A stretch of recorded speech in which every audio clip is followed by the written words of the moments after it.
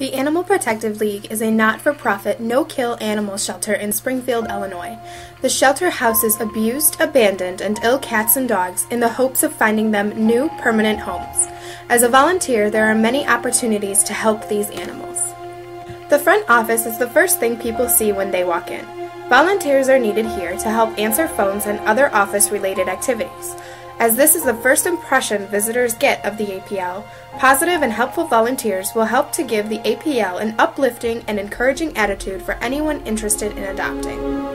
The Kitty Corner is a room just past the front office where the fat cats await their new homes. Volunteers willing to work with cats can help the APL by cleaning this room, which includes the litter boxes, sweeping and mopping, and exchanging dirty blankets and rugs for clean ones. The kitty corner needs to be cleaned every morning so that the visitors can enjoy the cats in a clean, safe environment. The second floor of the APL building consists entirely of the main cat population. Here, six rooms and the lobby split the cats into smaller groups, which makes them easier to care for and monitor. The first room is the kitten room, where juvenile cats and kittens stay. Since kittens are in the highest demand, flow traffic through this room is high. The second room is the sick kitties room, where cats diagnosed with the rhinovirus stay to heal. While the rhinovirus is not life-threatening, it is contagious, so the door here is pane glass instead of a screen. The third through sixth rooms all contain healthy, adoptable, full-grown cats. Sometimes, if one animal starts to show symptoms of a disease, staff members will immediately close the room down in order to prevent the spread of any sickness to any other room. The lobby area also has cats roaming through, and they are also adoptable. The second floor responsibilities include cleaning out each room, socializing with the cats, brushing burrs or matted fur on a cat, or anything else the staff member on duty wishes you to do.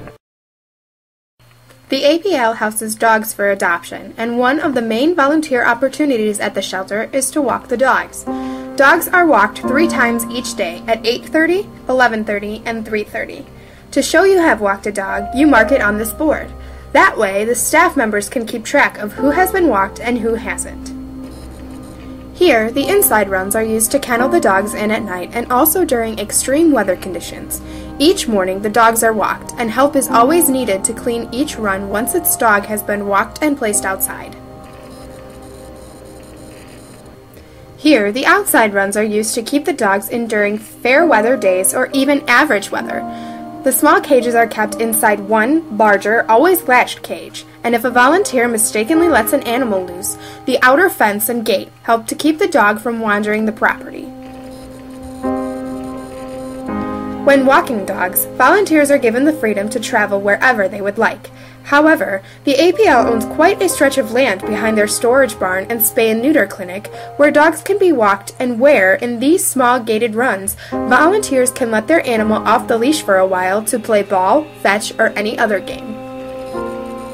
In addition to service opportunities with cats and dogs at the APL, volunteers can help with off-site adoptions, where cats and dogs are taken to a location in Springfield and presented to the public in hopes that they will be adopted.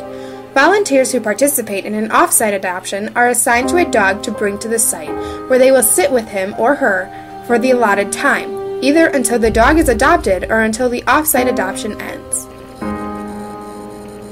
Also through the APL, volunteers who are able to take animals into their homes can foster new cats and dogs while they are getting ready to be adopted. Once you join the APL as a volunteer, email announcements calling for foster homes for new animals are frequent. While the volunteer opportunities at the Animal Protective League are very important, there are some duties that volunteers do not get to do, and in fact are staff-only jobs. Some of the dogs are labeled staff only because of a variety of reasons, mostly because of a known aggression toward other dogs or people. In order to know which dogs are staff only, a board is easily seen near the entrance to the inside runs. The board lists all the dogs currently housed at the APL. If the dog's name is in red, he or she is staff only. The isolation rooms are also inaccessible to volunteers. The rooms are handled by staff members only, and volunteers are asked to not enter there. The Animal Protective League on the north side of the state fairgrounds helps animals find loving homes. No one is more grateful to the volunteers than the animals, for by providing your services there, you are helping to provide access to a permanent family for those deserving cats and dogs.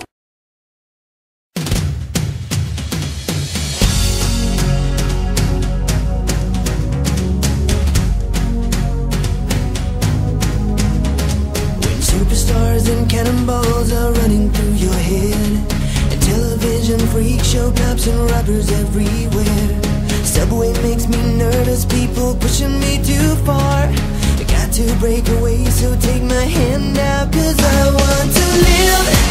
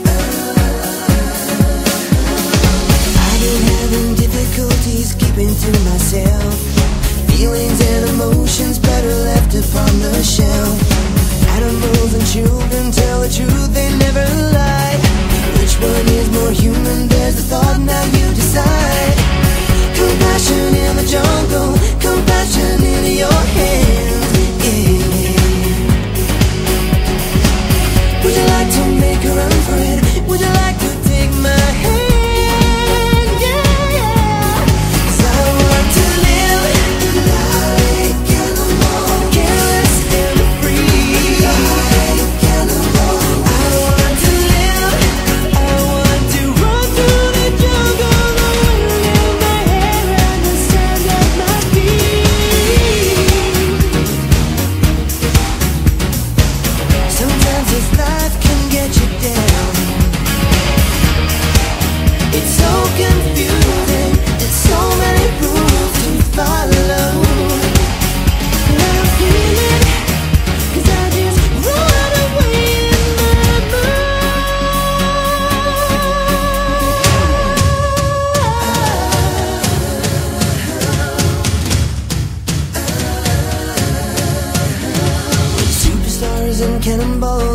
Running through your head.